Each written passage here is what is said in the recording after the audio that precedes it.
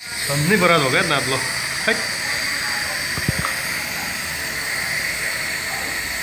किरा मार्ने किरा मार्ने किरा पनि अस्ति दिएको सम्राटो सम्राटको बत्ती रहेछ केही भएको। कहाँ गरिदियो त कस्तो ज्ञानी हो यी पनि कति सानो पनि ज्ञानी रहेछ ल एकदम गुड बोय क्या बोलूँ बोलो तो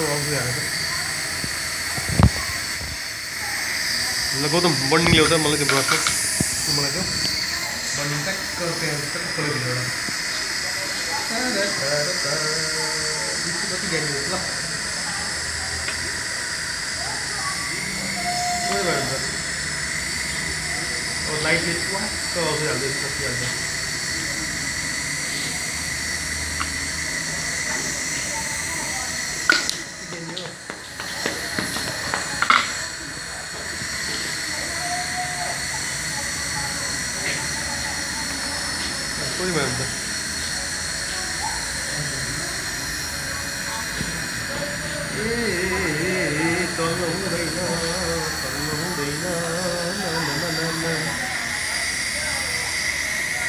त्यसलाई यसो गर्छु।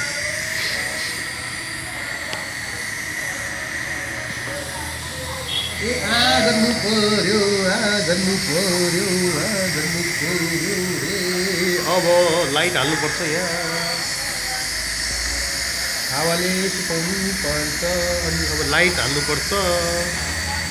यस्तो लाइटले बत्ती बाल्नु पऱ्यो नापमा कहाँ गरिदियो विषय कति ज्ञानी हो।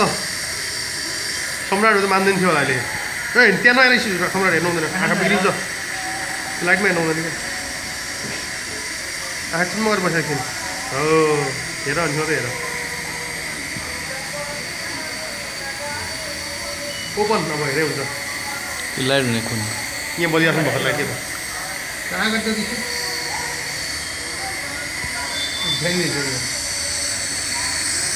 एउटा दाँत हो?